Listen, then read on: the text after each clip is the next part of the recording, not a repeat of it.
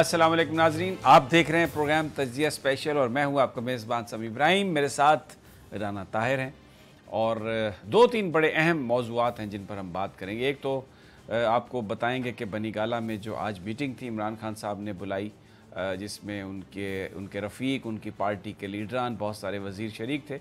वो जिनकी वजारतें ली गई हैं, वो बहुत कम तादाद में आए हैं। शायद कुछ खफा होंगे या कुछ अपने ज़ख़म चाट रहे होंगे, लेकिन बहरहाल, इमरान खान साहब ने अपनी तरजीहत आज बयान की हैं, वो आपको उनका हवाला देंगे कि वो क्या उन्होंने आज मैसेज दिया एक और जो खबर आ रही है कि नैब में जनाब हुसैन असगर साहब, एक इंतहाई दयानतदार, ईमानदार ऑफिसर जो पंजाब एंटी करप्शन के हेड भी रहे बड़े उनका, उनके यानी उनका जो करेक्टर है, उनका जो किरदार है, उनकी जो इंटेग्रिटी है उस पर कोई उंगली नहीं उठा सकता। और जो बड़े बड़े मगरमच्छ हैं, उनको उन्होंने पकड़ा। उनकी समरी अब मूव हो रही है कि उनको डिप्टी चेयरमैन नैब लगाया जा रहा है। और चेयरमैन नैब ने ये समरी, वो इसको मूव कर रहे हैं। बहुत अच्छा फैसला जस्टिस रिटायर्ड जावेद इकबाल का। अगर ये इम्प्लीमेंट हो जाता है, अगर ये इन्फोर्स हो जाता है अगर ये वाक़ता इसकी मंजूरी सदर पाकिस्तान दे देते हैं तो हुसैन असगर नैब में एक ऐसी एडिशन होंगे कि जिससे ये नाम सुन के ही जो पाकिस्तान में जो बड़े बड़े मगरमच्छ हैं, जो चोर चकार हैं, ये जो करप्ट लोग हैं, उन पर एक कपकपी तारी हो गई होगी कि हुसैन असगर साहब वो शख्सियत हैं, कोई भी उनको इन्फ्लुएंस नहीं कर सकता। वो किसी बात पर अगर कन्विंस हो जाएँ तो वो उसको करके छोड़ते हैं। कुर्सी से आप उन्हें हटा सकते हैं, लेकिन आप अपनी मर्ज़ी की चीज़ पे उनसे दस्तखत नहीं करवा सकते। चंद उन ऑफिसर्स में, और अब ये खबरें हैं कि वो डिप्टी चेयरमैन नायब बन सकते हैं। ज़बरदस्त ये खबर है। इसके अलावा आपको आज बताएँगे कि पाकिस्तान की जो वजारत इतलात और नशरियात की क्या परफॉर्मेंस रही। बुनियादी तौर पर इस वक्त जो एक मुल्क में अनसर्टेनिटी है, इस मुल्क में जो इस वक्त अपोजिशन का बयानिया ज़्यादा ज़ोर से चल रहा है इस वक्त इमरान खान साहब की, तहरीक इंसाफ की, हकूमत के हवाले से जो क्या सराइयाँ हैं, जो अनसर्टेनिटी है, बेयकीनी है जो फैलाई गई है एक मनज़म तरीके के साथ, वो क्यों तहरीक इंसाफ की गवर्नमेंट उसे नहीं रोक सकी? वजारत इतलात और नशरियात की तरजीहत क्या थी? और वो जो एक वफाकी वज़ीर जो अब चले गए हैं साइंस एंड टेक्नोलॉजी में, उनकी क्या तरजीहत थी? वो क्या कुछ करते रहे? उनके पूरे आपको उनकी गुफ्तु सुनवाएँगे और फिर आज से कंपैरिजन करेंगे। पहला दिन था आज फिरदौस आशिक अवान साहबा का बतौर adviser to the prime minister वैसे तो उनका डेजिग्नेशन स्पेशल असिस्टेंट है प्राइम मिनिस्टर के, लेकिन क्योंकि वो ब्रॉडकास्ट की हैं इंफॉर्मेशन की हैं तो इंचार्ज हैं, इस वक्त वो वजारत इतलात और नशरियात की, कि उन्होंने जो आज अपनी पहली मीडिया टॉक की, उसमें मैसेज क्या दिया? फ़र्क क्या है? दोनों जो अफराद हैं फवाद चौधरी साहब की क्या तरजीहत थी और फिरदौस आशिक एवान साहबा किस तरह इसको लेके चलना चाहती हैं? वो आपको पूरे उनके शॉट दिखा के और गुफ्तु सुनवा के आपको बताएँगे कि बुनियादी तौर पर अब होने क्या जा रहा है। सबसे पहले बनी गाला के जो इजलास है, उसमें आज वज़ी अजम इमरान ख़ान ने बताया अपने साथियों को, जो वार्निंग दी है एक तरह की अपने साथियों को, जो हमें सोर्सेज ने बताया। उन्होंने कहा कि जो आवाम को रिलीफ देने का जो मेरा वादा है, जो उस पर अमल नहीं करेगा, उसके लिए मेरे पास ज़ीरो टॉलरेंस है। कोई मेरा कितना भी करीबी दोस्त है, कोई मेरा कितना करीबी अज़ीज़ है, अगर वो पाकिस्तान के अवाम को रिलीफ देना, जो तहरीक इंसाफ की, हकूमत की ज़िम्मेदारी है, अगर वो उसको पूरा नहीं करता करता तो मेरा उसके साथ कोई ताल्लुक नहीं। उन्होंने बताया, आमिर क्यानी साहब को इसलिए हटाया, दवाइयों की कीमतों में 300 400 गुना तक इजाफा हो गया। तो आप ये बताइए, उन्होंने सवाल किया कि वो गरीब आदमी जो घर से अपनी दवा लेने निकलता है, जिसकी तनख्वाह में इजाफा नहीं हुआ, जिसके रिसोर्स में इजाफा नहीं हुआ, वो इन अद्वियात, इन कीमतों पर कैसे ख़रीदेगा? और कैसे मैं ऐसे वज़ीर सेहत को टॉलरेट कर लूँ, जो इन अद्वियात की कीमतों को वापस लेके नहीं आया फिर असद उमर साहब के बारे में उन्होंने बताया कि उन्होंने कहा कि अगर असद उमर काबीना में वापस आ जाएँगे, ये नहीं कहा कि मैं उसे पकड़ के लेके आऊँगा उन्होंने ये चॉइस छोड़ी है कि असद उमर काबीना में वापस आएँगे तो हमें यकीन फ़ायदा होगा, लेकिन असद उमर साहब बहुत बड़े इकोनमिस्ट नहीं थे, उन पर यह एक एतराज़ था। इसलिए चैलेंजेस पाकिस्तान के बहुत बड़े बड़े थे। तो मैंने इसलिए उनको तब्दील किया है, क्योंकि जो बुनियादी इकतसादी रिलीफ देना है आम आदमी को, इसके लिए मैंने उनको तब्दील किया है। और अगर वो आना चाहेंगे तो वो बिल्कुल मैं उन्हें ले आऊँगा। और साथ उन्होंने ये भी कहा कि मैंने रिश्तेदारी या दोस्ती नहीं निभाई। समझी थे इसाकदार साहब नवाज़ शरीफ के। चार साल तक उन्होंने मसनू तरीके से डॉलर की कीमत को एक जगह पर रखा। मसनू तरीके से, जिसका इकोनॉमी को बड़ा शदीद नुकसान हुआ। और कर्ज इतना लिया, उस मुल्क में उन्होंने इतना कर्ज लिया कि इस वक्त पाकिस्तान पे बैक नहीं कर सकता। लेकिन नवाज़ शरीफ साहब ने सागडार को नहीं हटाया। समझी थे, दोस्त थे, लेकिन मैं, कितना भी मैं असद उमर साहब की इज़्ज़त करता हूँ, मैं उनका दोस्त हूँ। अगर इस मुल्क में मीशत में बेहतरी नहीं आएगी तो मैं किसी भी शख्स को बर्दाश्त नहीं करूँगा। उसके लिए ज़ीरो टॉलरेंस है और मैं किसी किसी लेवल पर भी इस हवाले से कोई कंप्रोमाइज़ नहीं करूँगा। वज़रा से ये कहा कि आप अपनी प्रमोशन मत करें। मेरा ख्याल है ये नाम तो नहीं लिया, लेकिन फैसल वावडा साहब के लिए ये स्पेशल मैसेज है। बड़े वो कभी पिस्तौल नीचे पीछे टांग के चाइनीज़ अम्बेसडर के अम्बेसी में चले जाते हैं, वहाँ पर अगर दहशत गर्दी हो रही हो, फिर वो बॉर्डर पर जाने की भी बात करते हैं। बड़ी एक अजीब किस्म की उनकी वो आ, उनकी तस्वीर और वो चलती हैं। तो ये कहा प्राइम मिनिस्टर ने कि पर्सनल प्रमोशन कभी भी इस बात की गारंटी नहीं होगी कि आप हकूमत में रहेंगे। हकूमत में हम मुस्तकिल मुस्तकिल तौर पर नहीं आए। हकूमत में आए आवाम की खिदमत के लिए। अगर आवाम की खिदमत नहीं कर सके तो चले जाएँगे वापस चले जाएँगे। अवाम हमें भुला देंगे। जो वादा है मेरा अवाम से उस पर मैं कोई कंप्रोमाइज़ नहीं करूँगा। किसी तरह की कोई टॉलरेंस नहीं करूँगा। एक बहुत, एक क्लियर वार्निंग लेकिन आज बहुत सारे लोग नहीं आए। निजी मसरूफियत की वजह से। गुलाम सरवर खान साहब नहीं आए। उन उनकी जो वजारत है, उसका इजाफी चार्ज दे दिया गया उमर अयूब साहब को। तो अगर खान साहब नहीं आएँगे, सरवर खान साहब, अव्वल तो मुझे यकीन है कि वो अपनी पुरानी तनख्वाह पर अपनी नौकरी करते रहेंगे। लेकिन अगर उन्होंने कुछ सोचा कि वो नहीं आएँगे, कहीं और तरफ़ जाने की बात करेंगे तो चौधरी निसार की तरह हट जाएँगे, बिल्कुल मिट जाएँगे पॉलिटिकल सीन से। जिस तरह आप चौधरी निसार अपने दोस्तों को ढूंढते फिरते हैं बयानात के लिए, और उनका जो रवैया था, जिस तरीके से उन्होंने जुल्म किया अपनी वजारत दाखिला में लोगों पर, ख़ास तौर पर इस चैनल पर, जिस तरह उन्होंने मुकदमा बनाया, मुझे यकीन है कि वो जो सैकड़ों मज़दूर जो यहाँ पर काम करते थे, आज भी जो तनख्वाहों के लिए परेशान, और आज भी हम दर बदर फिर रहे हैं आज भी यहाँ पर हमारे मामला ठीक नहीं है। आज भी हम उसी तरह की एक स्ट्रगल में है और ये यहाँ पे जो लोग, ये जो स्क्रीन आप देख रहे हैं, तनख्वाहों के बगैर ये काम कर रहे हैं। इनकी कमिटमेंट है इस प्रोफेशन से। और शायद उन्हीं में से कुछ लोगों की बदुआएँ लगी। चौधरी निसार को कि आज ख़त्म हो गया सियासी तौर पर। नज़र नहीं आ रहा कोई। और अगर गुलाम सरवर खान साहब ने भी कोई इस तरह की हरकत की कि उन्होंने जिस शख्स के, जिस पार्टी के टिकट पर इलेक्शन लड़के वो एम एन ए बने और वजारत मिली अगर वो जो एक चौधराट दिखाने की कोशिश की तो फिर शायद उनका भी अंजाम चौधरी निसार से मुख्तलिफ़ नहीं होगा। आज जनाब फवाद चौधरी साहब भी निजी मसरूफियत की वजह से नहीं आए। कौन सी ऐसी निजी मसरूफियत थी? लेकिन फिर मीडिया के ज़रिए ये बयान दिलवाते रहे कि मैं दिफा से बाज नहीं आऊँगा, इमरान खान साहब का मैं दिफा करता रहूँगा। एक लीग बनाई हुई थी चंद एंकर्स के साथ मिलकर, चंद चैनल्स मालकान के साथ मिलकर, और उसी, वही लीग अब उनको फिर बचाने के लिए उनकी तारीफ़ें करने के लिए वो मौजूद है। लेकिन मैं आज आप उनका, ये जो सारा मीडिया इंडस्ट्री में बहरान है, मैं साथियों को दिखाऊँगा कि ये बहरान शुरू किसने किया। खुद उनकी अपनी ज़ुबानी में आपको ये दिखाऊँगा सब कुछ।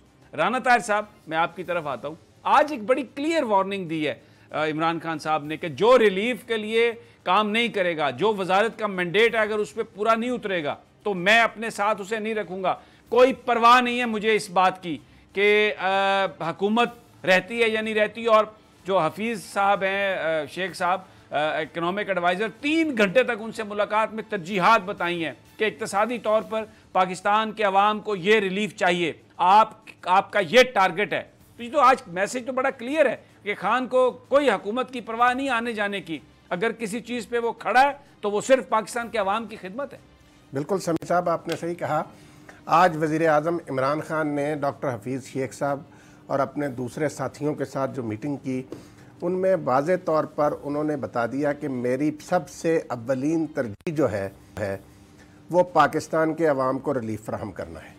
और इसके लिए उन्होंने डॉक्टर हफीज़ शेख साहब और उनकी मालियाती टीम को यह टारगेट दिया है कि आप अफरात ज़र में कमी लाएँ, आप दरामद कम करें, बरामद को बढ़ाएँ और इसके साथ साथ रमज़ानमबारक का मुक़दस महीना आ रहा है। वज़ी अजम ने मतनबे किया है कि किसी को रमज़ान के मुक़दस महीने में महँगाई मसनू तौर पर पैदा करने की इजाज़त नहीं दी जाएगी और इसके लिए उन्होंने अपनी टीम को सख्त हदायत की है और कहा है कि जो आपने बताई बात वो बिल्कुल इसी तरह वज़ीर आज़म ने कहा कि मेरे पास ज़ीरो टॉलरेंस है जो अवामी मसाइल से बेखबर लोग हैं राना साहब जो अहम बात है इसमें तो ऐसा लग रहा है कि इमरान खान ये तहिया कर चुके हैं।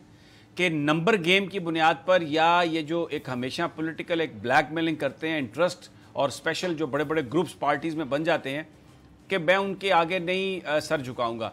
तो जो मुल्क में एक बात हो रही है, इस निज़ाम की तब्दीली के लिए जिसमें वज़ीर अजम पावरफुल वज़ी अजम हो, सदर की हैसियत में हो तो ऐसा लग रहा है कि उन्होंने अपना जहन उनका जहन बना हुआ है कि अगर कोई ब्लैकमेलिंग करने की कोशिश की गई तो फिर वो ये तय कर चुके हैं कि किस तरफ़ वो जाएँगे। पाकिस्तान के अवाम का रिलीफ सबसे पहले अगर उनका मकसद है तो फिर तो वो निज़ाम में और स्टेटस को, को वो पसंद नहीं करते। तो निज़ाम में तब्दीली के लिए तो वो कोई भी कदम उठा सकते हैं। अमीर साहब इमरान खान का वज़ीर अजम बनना जो है ये स्टेटस को की बूत में आखिरी कील है मैं आपको बताऊँ। ये पाकिस्तान पर जिस तरीके से गुजशत सत्तर सालों में लोग मसलत होते रहे हैं, इमरान, आपने जैसे ये बताया ना अभी सारा कुछ जो इमरान खान चाहते हैं। अब अगर इमरान खान के इस रास्ते में कोई भी रुकावट बनने की कोशिश करेगा, ये असद उमर कितने अज़ीज़ थे उनको? ये कियानी साहब, आमिर कियानी, इस, ये बड़ा वाज मैसेज, दो टोक मैसेज दे दिया।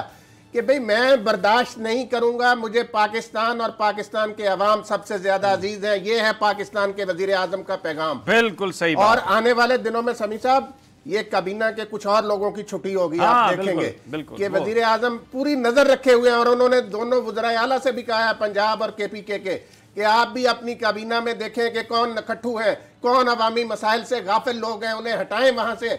और अपनी काबीना में नए लोगों को लेकर आए। और ये जो बहुत सारे जो उनकी काबीना के लोग हैं ना जो मुख्तलिफ़ ग्रुप्स का हिस्सा हैं वो खुद से ये बयान दे रहे हैं कि उस्मान बुजदार को नहीं हटाया जा रहा। उस्मान बुजदार को हटाने की कोई बात नहीं है।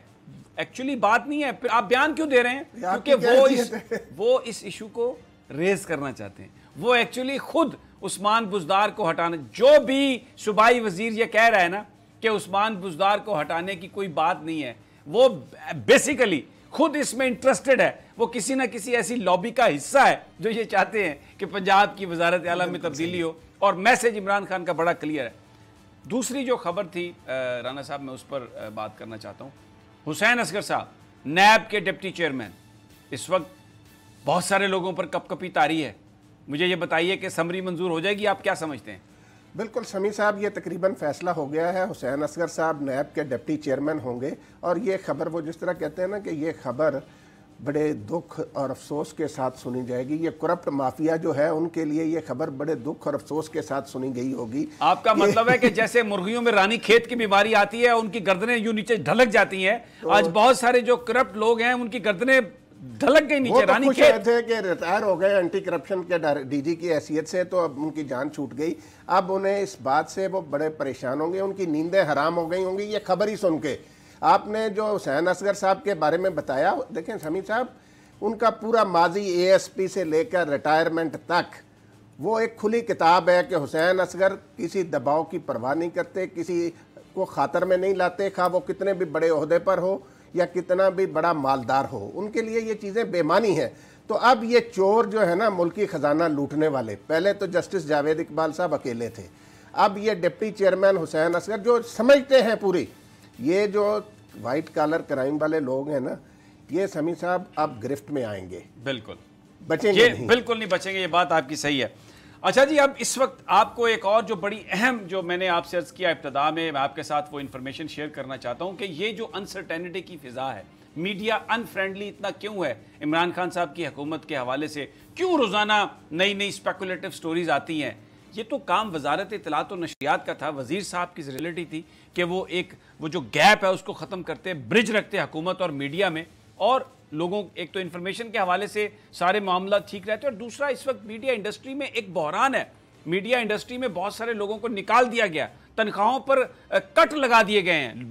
परेशान है। चार चार, तीन तीन, पाँच पाँच महीने लोगों की तनख्वाहें नहीं है और तनख्वाहों के बगैर काम कर रहे हैं। और हम बोल वाले बहुत ज़्यादा इससे मुतासर हैं। लेकिन मैं सलाम पेश करता हूँ अपने इन वर्कर्स को, जो जो कैमरे के पीछे हैं, जो पीसीआर में है प्रोडक्शन में है, हर शोबे में है। बावजूद इसके कि तनख्वाहें नहीं मिल रही, इसके बावजूद वो काम कर रहे हैं, पूरी मैनेजमेंट कोशिश कर रही है, हम कोशिश कर रहे हैं। लेकिन इसके बावजूद अभी वो चीज़ें उस लेवल पे नहीं आई, फिर भी ये काम कर रहे हैं, मैं इन्हें सलाम पेश करता हूँ। लेकिन ये सब क्यों हुआ? मैं आपको एक वज़ीर इतलात और नशरियात का वो क्लिप सुनवाता हूँ, जो उन्होंने वज़ीर इतलात बनने के बाद किया सबसे पहले, जिसको किसी मीडिया ने नहीं उठाया, कोई इतनी पजीराई नहीं हुई। मौसूफ फरमाते हैं कि मैं चाहता हूँ कि न्यूज़ चैनल नीचे जाएँ। न्यूज़ चैनल कमज़ोर हों ये मैं नहीं कह रहा। वफाकी वज़ीर इतलात सबक उन्होंने कहा सुनिए ज़रा जनाब फवाद चौधरी साहब के जो अकवाल जरी और जो वो पल्स ऑफ़ विजडम जो उन्होंने शावर किए ज़रा उन्हें समेटने की कोशिश कीजिए। देखिए पाकिस्तान का ना लॉन्ग टर्म इंटरेस्ट ये है कि न्यूज़ चैनल्स नीचे जाएँ। नीचे जाएँ? हाँ। अच्छा। और आपकी एंटरटेनमेंट स्पोर्ट्स और मूवी चैनल्स ऊपर आए। ये आप वज़ीर बनने के बाद आपके ख्याल आता क्योंकि सिकवल तो आप खुद माशाल्लाह। नहीं, हाँ। फरमा रहे हैं कि लॉन्ग टर्म पॉलिसी ये होनी चाहिए। इंटरेस्ट पाकिस्तान का ये है कि न्यूज़ चैनल नीचे जाएँ। और मैं बहुत अफसोस है मुझे इस बात पर कि हमारी जो यूनियंस हैं वो फवाद चौधरी के ही इशारों पर चलती रहीं। अपने ही जो लोग हैं अपने ही जो चैनल्स हैं उन पर वार करती रहीं। और फिर पाकिस्तान टेलीविज़न के अंदर यूनियन के ज़रिए इन्होंने वहाँ पर जो पूरे का पूरा एक मामला बिगाड़ा। इनकी ये पॉलिसी थी, इनकी ये ख्वाहिश थी कि पाकिस्तान के न्यूज़ चैनल नीचे जाएँ। ये है विजन फवाद चौधरी का जो उन्होंने आके टीवी पर बयान किया। और उसके बाद आप देखें, पाकिस्तान के तमाम चैनल्स, जो न्यूज़ चैनल्स हैं, उन्होंने सफ़र किया। पेमेंट्स नहीं मिली। उसके बाद लोग, यहाँ पर बेदखलियाँ हुई, यहाँ पर लोगों को निकाला गया और उसके बाद लोगों की तनख्वाहों पर कट लगाए गए। विजन वज़ीर इतलात और नशरियात का ये था कि मैं इस तरह सफोकेट करूँ इन चैनल्स को कि ये चैनल्स नीचे चले जाएँ, क्योंकि वो कहते हैं कि इंटरटेनमेंट वो कहते हैं फ़िल्म उसको आगे जाना चाहिए। न्यूज़ चैनल को ख़त्म होना चाहिए और फिर उसके बाद, के बाद इन्होंने कहा कि पेम्ब्रा को मैं ख़त्म करके तो एक नई हम रेगुलेटरी एक बॉडी बना रहे हैं। और फिर पेम्ब्रा को इस्तेमाल किया इन्होंने हर न्यूज़ चैनल को नोटिस दिलवाए और उन खबरों पर जो सच साबित हुई, बुनियादी तौर पर यह सफोकेट करना चाहते थे, जिसका एक तो नुकसान ये हुआ कि पाकिस्तान के मीडिया इंडस्ट्री ने, चाहे वो न्यूज़पेपर हैं, चाहे वो न्यूज़ चैनल्स हैं, उन्होंने सफ़र किया क्योंकि इन्होंने माशियात को रोक दिया, दबा दिया, बिल्कुल उसको चौक कर दिया, क्योंकि ये चाहते हैं, ये कह ये रहे थे ये और इनका इनका विजन ये है कि न्यूज़ चैनल कमज़ोर होने चाहिए, क्योंकि न्यूज़ तो इनकी करप्शन की कहानियाँ बयान करता है। वो बताता है कि चार गाड़ियाँ यहाँ पर इस्तेमाल हो रही हैं, ये तैनाती यहाँ पर होनी है। तो ये उनका विजन था। अब मैं आपको दूसरी जो बात चाहता हूँ कि इन्होंने बहुत शुरू में, देखिए हाउस चलाने के लिए अगर आप शहबाज शरीफ को लीडर ऑफ़ द अपोजिशन बना रहे हैं, कमेटियों में उनको चेयरमैनशिप दे रहे हैं तो जो लैंग्वेज इस्तेमाल की जाती है वो ऐसी नहीं इस्तेमाल की जाती कि जिससे अपोजिशन भड़के। बहुत सारे लोग ये बताते हैं कि ये बात शायद पीपल्स पार्टी की फेवर में थी कि नून लीग के साथ उनकी जो दूरी थी वो ख़त्म हो। नवाज़ शरीफ साहब तो पहले ही नाहल हो चुके थे लेकिन फेक अकाउंट्स केस में जनाब आसफ अली जरदारी साहब को ज़रूरत थी कि नून लीग उनके साथ आए। उन दम, दोनों जमातों को नज़दीक करने के लिए ज़रूरी था कि हुकूमत उन पर वार करती। ऐसी ऐसी एक फ़िज़ा क्रिएट की जाती जिसमें अपोजिशन घबरा के एक दूसरे के साथ हाथ मिलाती, जो कि जरदारी साहब चाहते थे। और आखिरी जो असाइनमेंट थी जनाब फवाद चौधरी साहब की, वो पीपल्स पार्टी के साथ ही थी और इन, इन्होंने जो तैनातियाँ की हैं, वो उठा के देख लें, वो सारे के सारे पीपल्स पार्टी के लोग हैं, जिन लोगों को इन्होंने तैनात किया, उसकी भी मैं लिस्ट किसी दिन आपको टेलीविज़न पर दे दूँगा। और किस तरीके से इन्होंने अपोजिशन की जमातों को बुरा भला कहा, सख्त लैंग्वेज इस्तेमाल करके उनको मजबूर किया कि वो एक हो जाएँ सुनिए ज़रा क्या ये अंदाज तकल्लम होता है वज़ीर इतलात और नशरियात का? ज़रा सुनिए असम्बली में क्या फरमाते हैं?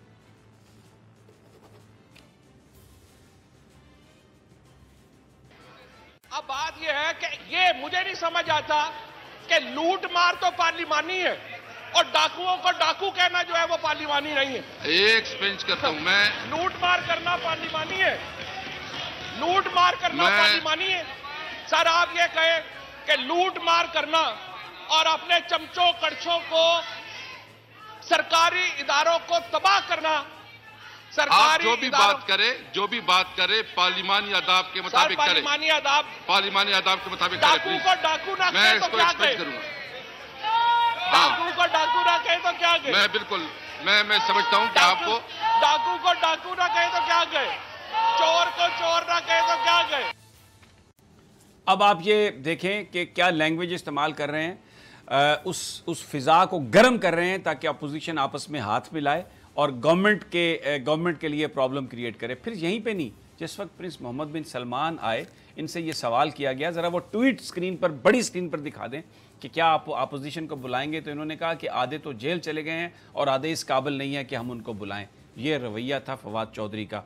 बहुत सारे लोग कहते हैं, बज़ाहिर तहरीक इंसाफ के लोग बहुत खुश हो रहे थे कि क्या जारियाना रवैया है, क्या ज़बरदस्त नज़रियाती बात है। लेकिन दर हकीकत ही was playing for someone else किसी और की गेम खेल रहे थे। और वो गेम ये थी कि कोई ऐसा माहौल बन जाए जिसमें नून लीग और पीपल्स पार्टी एक हो जाएँ और नंबर गेम में फिर वो इमरान खान के साथ तहरीक इंसाफ के साथ कोई इस तरह से बहरान अगर करना चाहें वो दोनों पार्टियाँ मिलके तो उसकी राह हमवार हो सके। बज़ाहिर लग रहा था कि तहरीक इंसाफ के नज़रियात की बात कर रहे हैं, कितनी हक सच की बात कर रहे हैं। लेकिन ये बात वो थी जिसने जो अपोजिशन को एक साइड बिठा दिया। नवाज़ शरीफ और शबाज शबाज शरीफ और आसफ जरदारी के दरमियान मुलाकात हो गई और वो नून लीग और पीपल्स पार्टी यूँ हो गई और उन्होंने जो एक एक महाज बनाया तहरीक इंसाफ के ख़िलाफ़, वो पूरी कौम ने देखा। नाजरीन, मेरे पास अब पंद्रह सेकेंड है, क्योंकि ब्रेक का वक्फा है। मैं जब ब्रेक से वापस आऊँगा तो आज फिरदौस आशिक अवान ने भी एक परफॉर्मेंस दी है। उन्होंने भी दो तीन बातें कही हैं। मैं आपको वो भी सुनवाऊँगा आप फ़र्क महसूस कीजिएगा कि वज़ी इतलात का काम क्या होता है। और जब आगे लेके चलना हो, हुकूमत को, पार्टी को, पूरी कौम को साथ लेके चलना हो तो गुफ्तु किस अंदाज में की जाती है? फैसला आप खुद कीजिएगा, लेकिन ये सब एक ब्रेक के बाद।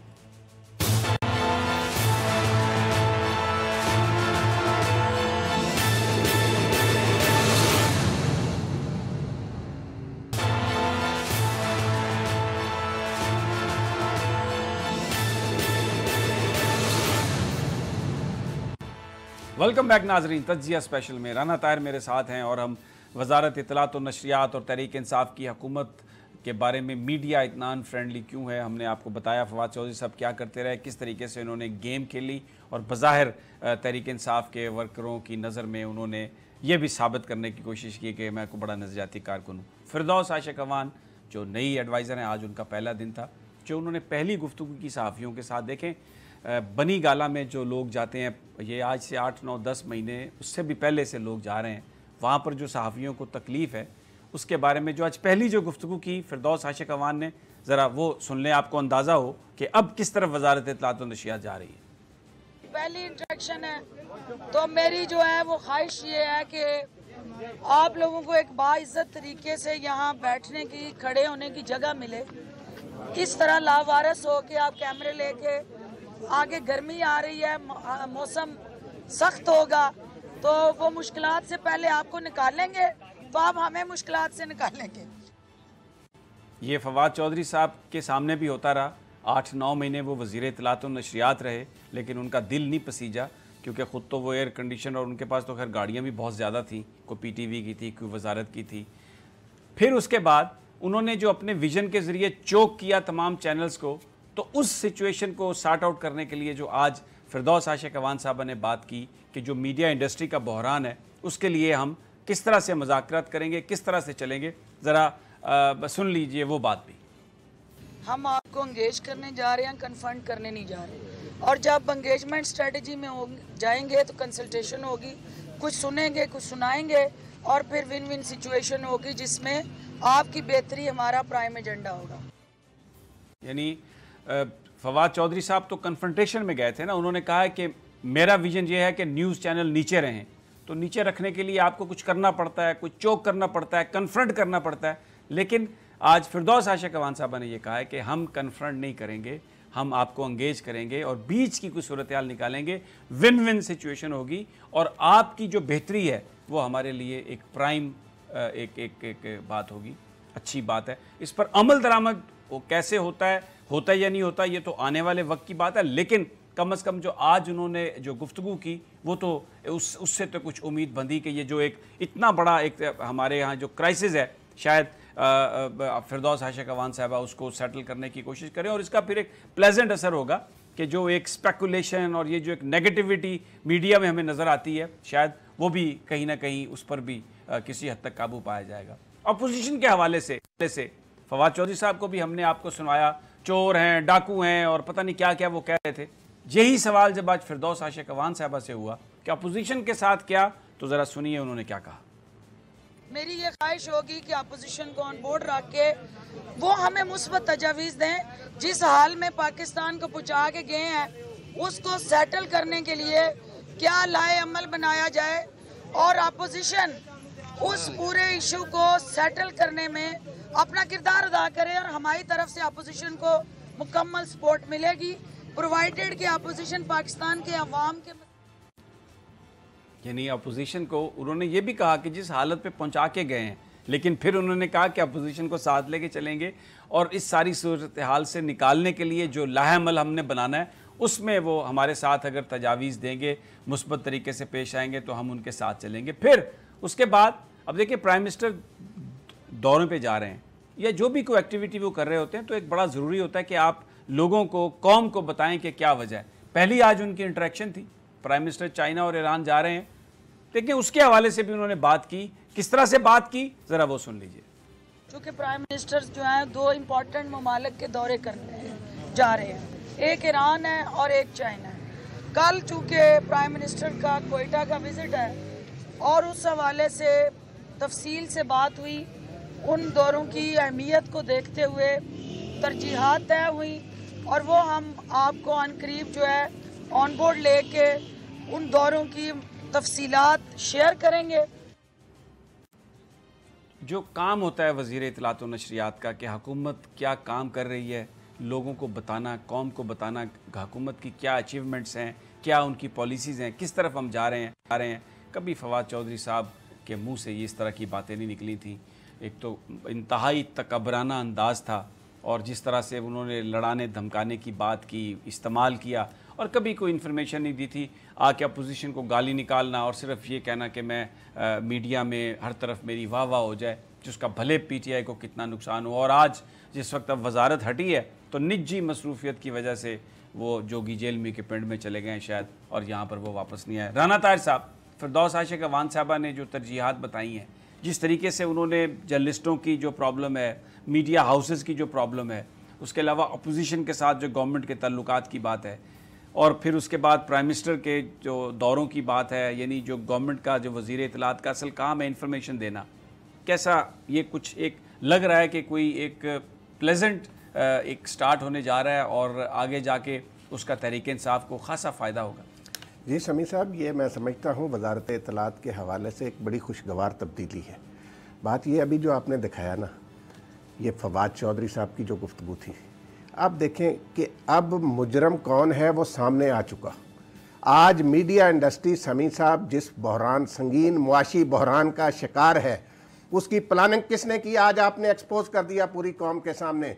वो जो बंदा खुद अपने मुँह से कह रहा है कि मेरा टारगेट ये है कि मैंने न्यूज़ चैनल्स को नीचे लाना है, आप देखें कि गुजशत आठ महीनों में न्यूज़ चैनल्स के साथ जो सलूक हुआ न्यूज़ चैनल्स को जिस तरीके से ट्रीट किया गया, ये एक मंसूबा बंद यानी कोई ढकी छुपी बात नहीं, एक बंदे ने अलाल ऐलान कहा कि मेरा ये मंसूबा है। मैं एक राना साहब, आपको रोके एक दफ़ा फिर जरा वो गुफ्तगु सुनवाएँ फवाद चौधरी की, जिसमें उन्होंने ये कहा कि मैं ये चाहता हूँ कि न्यूज़ चैनल नीचे जाएँ।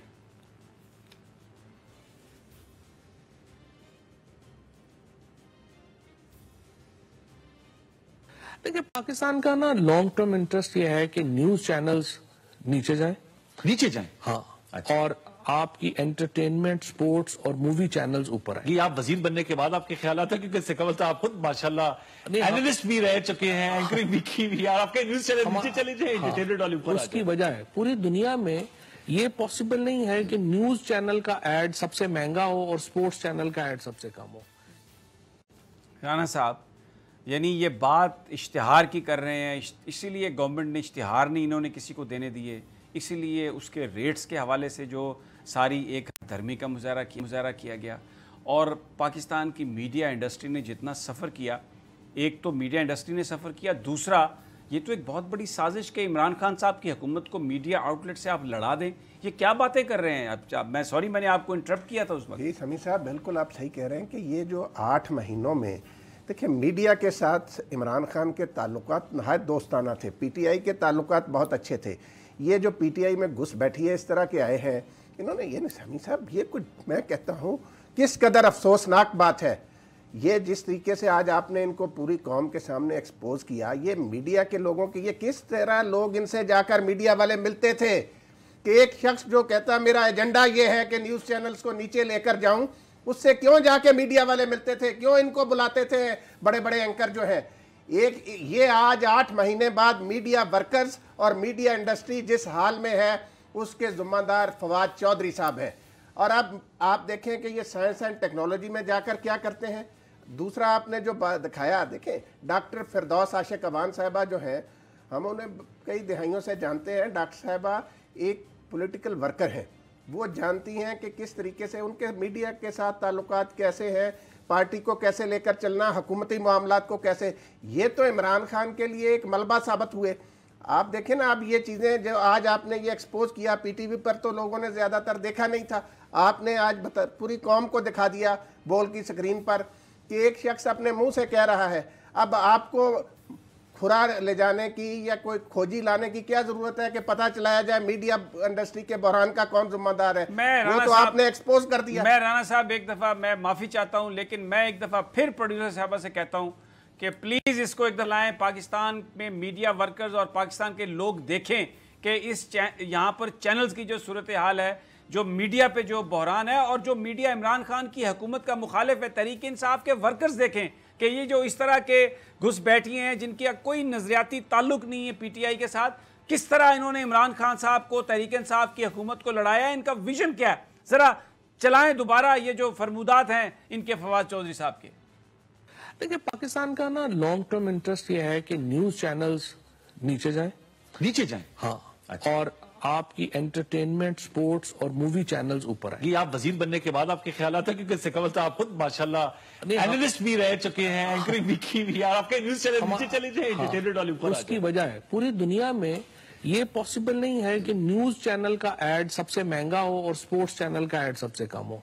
इसका जी राना साहब अब मुझे बताइए कि ये जो इस वक्त झगड़ा है इस वक्त जो नेगेटिव चीज़ें चल रही हैं तहरीक इंसाफ के हवाले से मीडिया पर ये फवाद चौधरी साहब ये ये ये इन्होंने इंटरव्यू दिया था वज़ीर बनने के फ़ौरन बाद पाकिस्तान टेलीविज़न पर। ये अपना इन्होंने विजन बताया और उसके बाद उस पर अमल शुरू अमल शुरू किया इन्होंने और चौक कर दिया। और इनके साथ जो मावन खसूसी हैं इस सारे काम में वो हैं शफकत जलील साहब। मैं आपको बता दूँ। और अगर फिरदौस आशिक अवान साहबा ने शफकत जलील साहब से जान ना छुड़ाई क्योंकि शफकत जलील साहब का जो मुझे नज़र आया जिस वक्त अरशद खान और फवाद चौधरी साहब का झगड़ा था अरशद खान के साथ जाकर उनके पलड़े में फवाद चौधरी के पास जाकर उनके पलड़े में। और जो उन्होंने वारदात डाली है जो ये गंद डला है सारे का सारा बराबर के शरीक हैं यूँ लुथड़े हुए हैं उनके हाथ उसमें। इस गंद में दोनों के लुथड़े हुए हैं। तो अगर फिरदौस आशिक अवान साहबा ने क्योंकि वो ये कहेंगे बस मैं तो जून में रिटायर होना है अब मेरी जो महीना डेढ़ है मुझे रहने दें। लेकिन वो महीने डेढ़ में जब मैं कहते हैं ना फिरदौस आशिक अवान ना कहते कुट पर जान। ये मैं आपको बता रहा हूँ राना साहब ये मेरी असेसमेंट है। ये समी साहब देखें पहली बात तो ये है कि मैंने जैसे आपको अर्ज़ किया कि डॉक्टर फिरदौस आशिक अवान जो है ना, वो जो है ना, वो एक मंजी हुई सियासी कारकुन है। वो किस तरह कोई फसली बटेरों की तरह नहीं आई, उनकी पूरी एक जद्दोजहद है। वो ज़माना है, तालब इलमी से जद्दोजहद करती आ रही हैं। ये जो बात है ना शफकत जलील साहब के हवाले से, पहली बात तो ये है कि मेरिट को तरजीह दी जानी चाहिए वजारत इतलात में। किस हवाले से शफकत जलील साहब डीजी रेडियो का अहदा संभाल कर बैठे हुए हैं? वहाँ पे इतने अच्छे अच्छे आप भी जानते हैं कि प्रेस इंफॉर्मेशन डिपार्टमेंट में बहुत अच्छे ईमानदार अफसर मौजूद हैं। उनको लगाएँ डीजी रेडियो आप। क्यों आपने एक इजाफी पोस्ट अपने पास रखी हुई है और लोगों को, बेचारों को खुडे लाइन लगाया हुआ है? तो आप इंफॉर्मेशन सर्विस के लोगों के साथ ये जुल्म बंद करें और डीजी रेडियो का अहदा किसी ईमानदार दयानतदार शख्स को वज़ीर जो मौजूदा मशीर इतलात हैं डॉक्टर फरदौस साहबा, उनको चाहिए कि वो दें। और ये शफकत जलील साहब, जिनकी आपने बात की समी साहब, ये मीडिया बहरान के ज़िम्मेदार फवाद चौधरी के, जो खसूस बिल्कुल सही कहा आपने, उनके दस्ते रास्त मावन ये शफकत जलील साहब थे। आज मीडिया इंडस्ट्री को इस बहरान से दो चार करने वाले ये दो अशास हैं। एक तो चले गए यहाँ से वजारत इतलात से। अब डॉक्टर साहबा को चाहिए कि दूसरे से जान छुड़ाएँ। और इस मीडिया इंडस्ट्री को बहरान से निकालें। समीर साहब जिस तरीके से ये सारा कुछ ये देखें ना वो आपने बताया भी अभी देखा भी सुनाया सारी कौम को। समीर साहब इसके बाद आप मुझे बताएँ कि हमारे सारे जितने भी हाँ, किसी भी मीडिया हाउस से किसी का ताल्लुक हो हर जगह पे मुश्किलात हैं।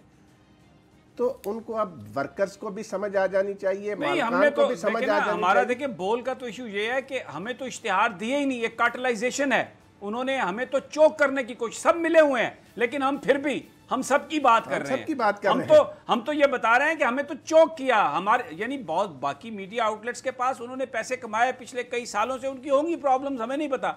हमने तो कोई इश्तेहार ही नहीं लिया हमें तो कुछ दिया ही नहीं किसी ने।